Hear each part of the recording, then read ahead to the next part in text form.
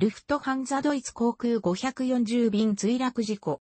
ルフトハンザドイツ航空540便墜落事故は、1974年11月20日に、ルフトハンザドイツ航空のフランクフルト空港発、ヨハネスブルグ国際空港業540便、ボーイング747から100が途中経由地のナイロビ国際空港で墜落した事故である。ボーイング747型機としては初の全損死亡事故となった。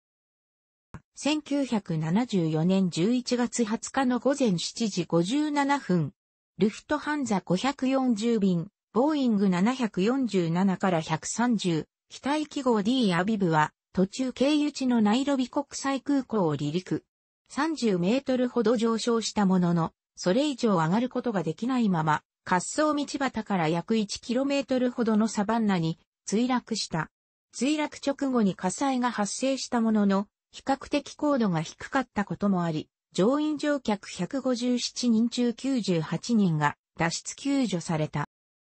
脱出した機長及び乗客の証言によると、離陸直後から機体が振動し始め、墜落まで継続したことから失速により墜落したことは判明したものの、原因については、機長の証言では判明しなかった。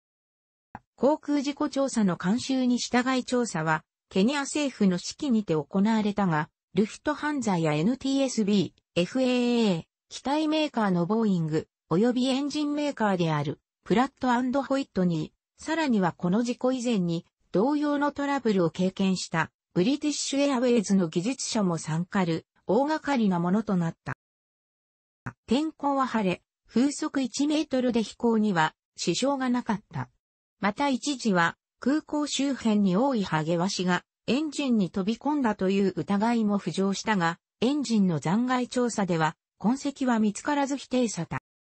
調査の結果、主翼のフラップは10度まで下ろされていたものの、前縁フラップは引っ込んだままになっていた。ナイロビ国際空港はおよそ1、600メートルの高地にあり、かつ気温も高かったため空気密度が低かったことも重なり、十分な揚力が得られずに墜落したことが判明した。しかし、フラップと前円フラップは同一のレバーでの操作となるため、正常な状態ではこり得ない。主フラップと前円フラップは同一レバーで操作するが、動力は主フラップが油圧に対して前円フラップは空気圧で作動するという違いがあり、空気圧源はエンジン起動前は補助動力装置の中期、エンジン起動後は主エンジンからの中期という違いがある。さらに APU からの中期は主エンジンを起動する際の動力としても使用し得るため、中期配管は主エンジンからと APU からの接合箇所にパイロンバルブが挿入されている。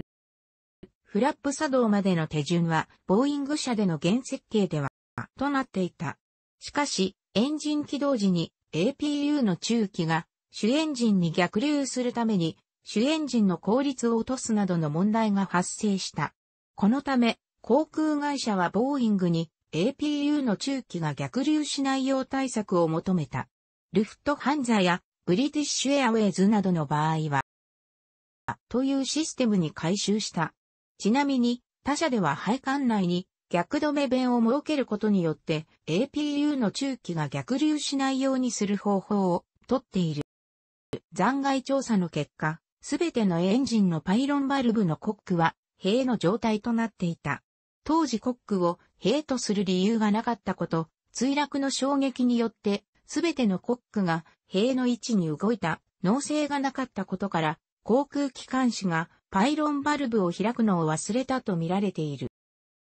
さらに警報システムにも問題があり、前円フラップの作動状態を青、正常に降りている木、途中まで降りているの2種類のランプが点灯し、前円フラップが出ていない状態では全くランプが点灯しないというロジックとなっていた。離陸、着陸時以外には前円フラップは使用しないため、不使用時に赤が点灯するシステムとすると行中は点灯したままの状態となり、乗務員の負担になりやすいことから採用されたロジックであったが、前円フラップが出ていないイコール不点灯が見落としにつながり、さらに遠因として朝の陽光が縦室に差し込み、ランプ識別をしにくくしていた。それと知らない機長は、離陸を開始して、失速、墜落に至ったとされた。ナイロビでの墜落事故以前に BOAC、ブリティッシュエアウェイズの前身ではルジのトラブルを起こしていた。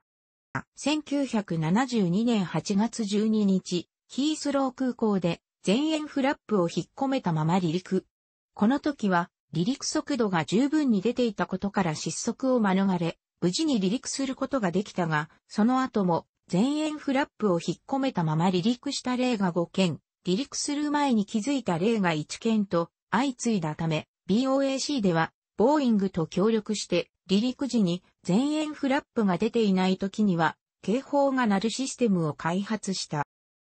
ボーイングではヒースロー空港でのトラブルの後、各航空会社に離陸前に前円フラップが正しく出ているかどうか確認する要通報を出した。しかし、警報システムが開発されたことについては通知していなかった。このためルフトハンザは前円フラップの警報システムが開発されたことは、ナイロビの事故まで知らなかったと不満の意表明。ヨーロッパのジャーナリズムは FAA が警報システムの改修を強制的にやらせなかったのはトルコ航空 DC-10 パリ墜落事故の貨物ドア改修問題の失敗を繰り返したものだと批判した。